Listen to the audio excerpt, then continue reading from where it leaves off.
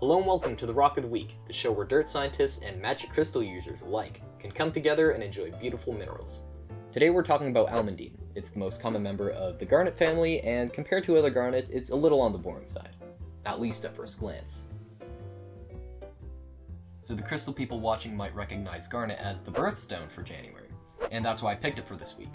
The almandine is usually a dark red, sometimes with a bit of brown or orange in it, and sometimes closer to black like this. And you can also sometimes get it in a pink. Low quality crystals have a very waxy or resinous surface, but the higher quality ones which are used for cutting and polishing are a lot more glassy or vitreous. You'll usually find almandines in a matrix, which is the host rock that the mineral grows from, and in the case of almandine, it's usually a very flaky rock called schist. Sometimes the crystals get big enough that they detach, and you get little floater crystals like this but sometimes they don't get big enough and you'll get crystals growing inside of the host rock, like this one right here. Almandine is also a little bit on the heavy side, weighing in at around a 4 in specific gravity. That means that it's about 4 times heavier than a quantity of water the same shape and size. So like I said, almandine is the most common type of garnet and can actually be found all over the world.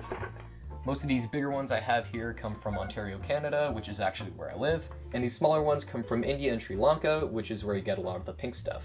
You get a really cool variant in Austria, which is called the Zilla variety, and another one in Australia, which gets called the Australian Ruby. Now this is a bit misleading because garnet and ruby are pretty different. Ruby is a lot harder and forms hexagonal crystals, while almandine forms these really unique crystals, which we'll talk about in a second. But anyway, a huge portion of garnets actually come from New York, which has the largest garnet mine in the world. In fact, they found one of the largest garnets ever under Manhattan, and that got dubbed the Subway Garnet. And let's not forget about South Africa, which is kind of the world hub when it comes to gems. Alright, that's enough of that.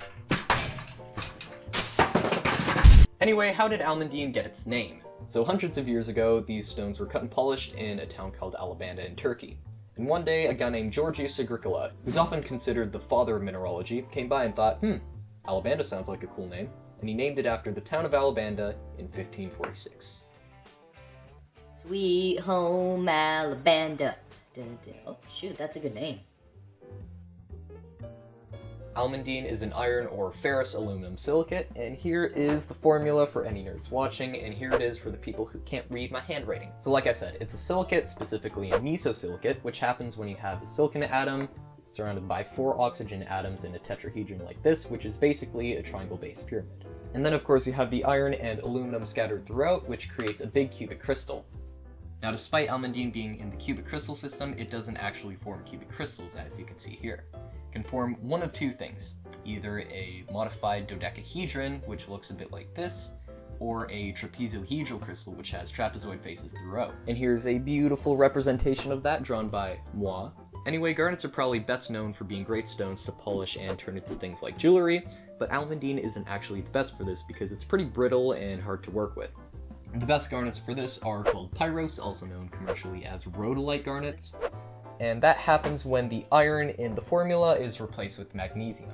And this basically makes the bonds between the molecules a lot stronger and therefore easier to work with. But because almandine is so common, it's sometimes used industrially as an abrasive, and that means that it's turned into things like sandpaper and used to smooth things down.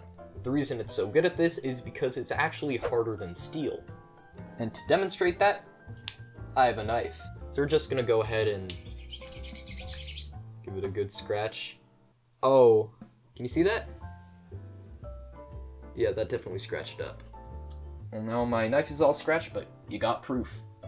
Anyway, that's enough nerd stuff, let's get on to some fun facts.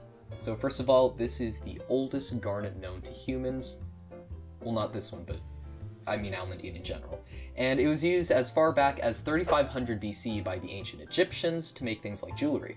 It's also believed that Noah actually used a finely cut and polished garnet to light up his ark during the Great Flood. Now this one isn't exactly cut or polished, but we'll see what it can do.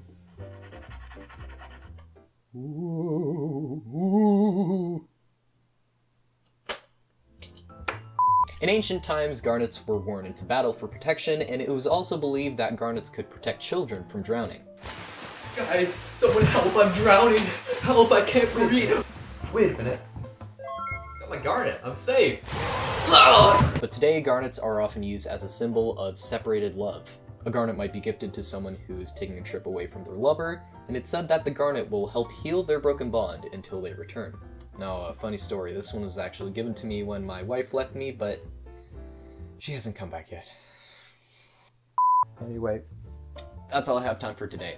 I really hope you enjoyed and maybe learned something new. Let me know in the comments what you think I should do next week, and I will see you all then. Happy collecting, everyone.